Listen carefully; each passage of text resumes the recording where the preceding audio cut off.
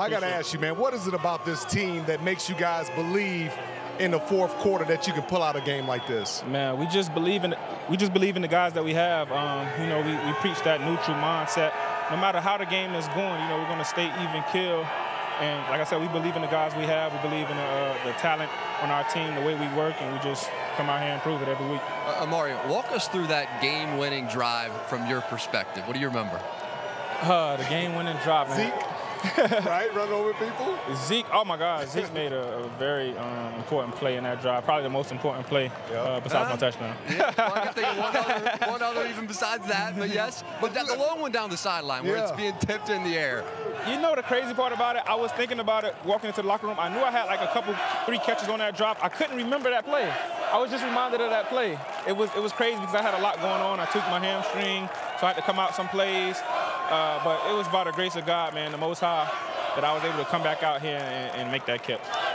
How does it feel when your teammates, when your coach, Kellen Moore, he calls a number like that? How, how does that make you feel when you know your number's being called and you got to deliver? Oh man, that's that's that's the best feeling in the world because you know I believe in myself. I'm very confident uh, in my ability, and I, I want I want the ball in that situation. I want to go out there and win it because I know I can do that for my team.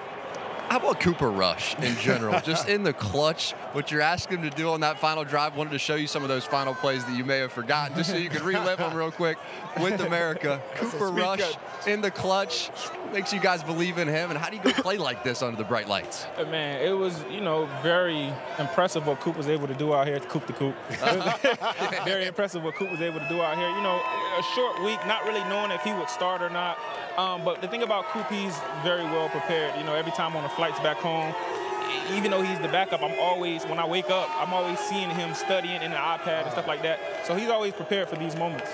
Talk about that offensive line, man, and the job that they did. We talk about Cooper Rush, we can talk about your game winner and Zeke Elliott, but without this offensive line that gave him plenty of time, mm. this wouldn't be possible. Man, the offensive line, they're like the engine, you know what I'm saying? Without them, we ain't going nowhere. That's right. you know what I'm saying? And it's, it's so great to have all of them back healthy. Um, you know, we got Tyron, obviously Zach, you know, all these guys. They're, they're probably, the, to me, the most important part of the team no because without them, we ain't gonna be able to do nothing. So. That's right. Have you been on a Cowboys team with this much talent? I, I don't think so, man. I, to be honest, this is the I, I, said it before. This is the best team I've been on um, uh, since my time in the league. This is my seventh year. This is undoubtedly the best team I've been on. Yeah, Where do you see that talent, though? Where specifically do you feel that talent? Everywhere. the thing about that's where I feel it. The thing about um, every great team that I've noticed, whether I was in Pop Warner, uh, what, whatever sport I was in, depth. You have depth you, are going to be successful. You see our, our, quarterback went down. Coop came in, make some, made some big plays. Um, we, we, have corners go down. I mean, um, Michael Gallup isn't even playing. You saw Ced with that huge touchdown. We have a lot of depth. We have a lot of talent throughout uh, across the board. So yeah. talk about Micah Parsons, and you get a young guy like that's willing to come in and sacrifice and play two totally different positions. It's pretty impressive to me. Man, he ain't faster than me, but he faster than a lot of receivers. he faster nobody faster than you.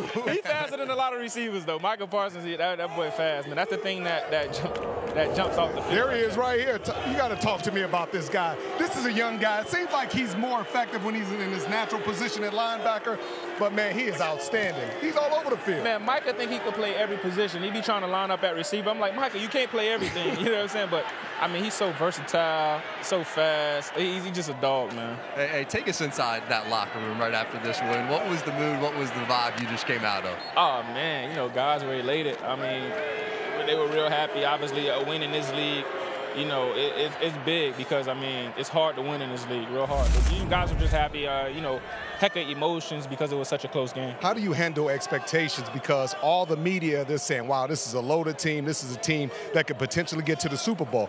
Do you guys embrace that Super Bowl talk, or do you kind of push it away? I mean, you know, we preach take it a game at a time, be present, be where your feet are. Uh-huh. Um, like I like I alluded to earlier, that neutral mindset. I mean, whether things are going good, things are going bad which is neutral, even kill the whole time. What about Mike McCarthy? I mean, he's gotten a bad rap. A lot of people say that he's not a good coach.